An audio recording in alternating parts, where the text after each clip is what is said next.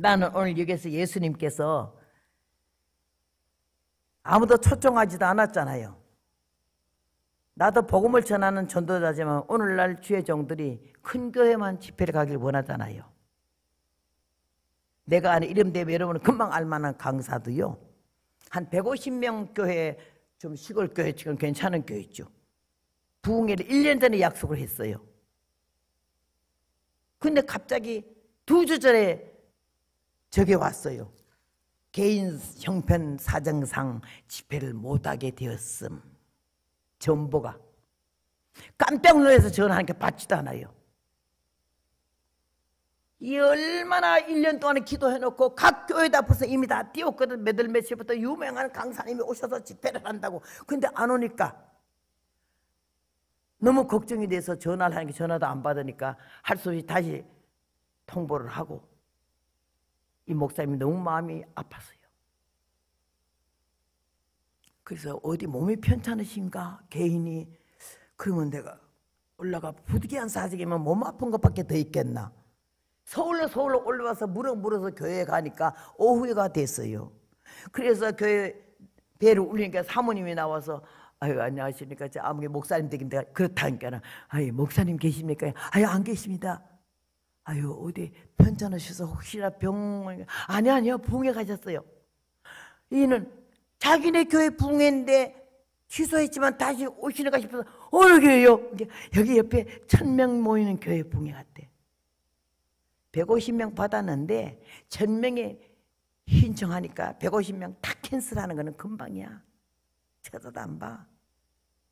하나님은 한 영혼을 천하보다 귀하게 여기는데 부흥사들이 150명 영혼을 그리 없이 여기서 되겠나 이 말씀이에요. 그런 말씀 내게는 다 교훈이에요. 이 말을 네가 알고 들을게 하는 거는 너 그렇게 놀지 말라는 뜻으로 알게 되더라고. 그래가지고는 얼마나 이 목사님 울고 내려왔는지 모르는데 그 다음 주에 내가 그게 부흥회 갔으니까요. 그걸 나한테 고백을 하는 거예요. 근데 그게 그 목사님 흉이 아니라 날 들으라고 하나님이 얘기하는 것 같아가지고는 아주 정신이 바짝 났어요. 주여, 주여 하는 자마다 다 천국에 들어갈 것이 아니오. 내 아버지의 뜻대로 행하는 자라에 들어가며 그날에 많은 사람이 나더리 이르되 내가 주의 이름으로 귀신을 쫓아내며 많은 권능을 행했다고 그러는데 그럼 주님 뭐라고 그러신다고? 불법을 행하는 자들아 내게서 떠나가라. 나는 너를 도무지 모르는데 그 말이 하나님이 저하게 하는 말씀이요. 오늘 여기에 예수님이 초청장을 안 했어도 다 큰 교회 좋아하고 다 그렇게 좋아하는데 예수님이 그 처절한 인생들에게 버려진 인생들에게 아무 희망이 없는 인생들에게 스스로 찾아가셨어요. 우리 주의 종들의 마음이 이런 마음이 있어야 된다는 거지. 가서 보니까는 많은 환자들이 있지만 그 중에서 제일 오래된 환자, 38년 된 환자가 꼼짝을 못하고 누워있는 거 아니요. 38년은 잔병이 효자가 없다고 옆에 아무도 없잖아요. 그 옆에 가서 이렇게 계셨어요. 누운 것을 보시고 병이 벌써 오른 줄 아시고 이랬거든. 이거는 이 환자에게만 말한 거이 아니라 반은 올 새벽에 우리가 우리에게 눕지는 않았어도 너 벌써 기도 못한 지 오래됐지. 너 전도 못한 지 오래됐지. 너 봉사 못한 지 오래됐지. 옛날에 좀 하더니 인생에 있어서 손이 많이 오그라졌지.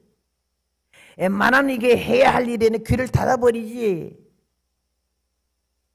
바로 나에게 한 말 아니야. 너 누운 줄 오랜 줄 아시고 신앙이 벌써 식어버린 지 오랜 줄 아시고 주님이 내가 낫고자 하느냐 그랬어요. 그럴 때 이 사람이 얼마나 좋던지 아니 아무도 관심 안 두는지 왜 이렇게 젊은 청년이 내뱉어서 낫고자 하느냐 이 말은 내가 옆에 섰다가 너를 물에 떨렁 던져줄까 이 말로 알아들은 거예요. 예수님인 줄은 모르는 거예요. 낫고자 하느냐 할때 아이고 누가 말을 걸어주는 것만 해도 고마워서 주여 물이 동할 때에 나를 못에 넣어줄 사람이 없어서 내가 뻗들쩍거리고 내려가는 동안에 다른 사람이 먼저 내려가나이다. 이 말은 옆에 좀 서 있다가 나 좀 물에 던져주시오. 이 말이에요. 그때 주님이 뭐라 그랬죠? 예수께서 가라사 일어나 내 잘 들고 오라. 이건 무슨 말이요? 못에 던져마저도 고맙겠는데 일어나서 내잘 들고 들고 오라래. 말씀이 피동적으로 그냥 뭐 지남철에 그냥 쇠붙이 들러붙어지 벌떡 일어나지 않았어요. 그래서 자리를 들고 걸어가니라 이 기가 막힌 사건이에요. 기가 막힌 얘기 아닙니까? 전능하신 하나님, 살아계신 하나님, 능치 못함이 없으신 우리 하나님께서 이 시간까지 우리 생명줄을 잡으셨고 우리를 걸음마 하듯이 붙드셨고 좌우로 치우치지 않고 여러분 지금 현재 그 자리까지 항상 이끄셨어요.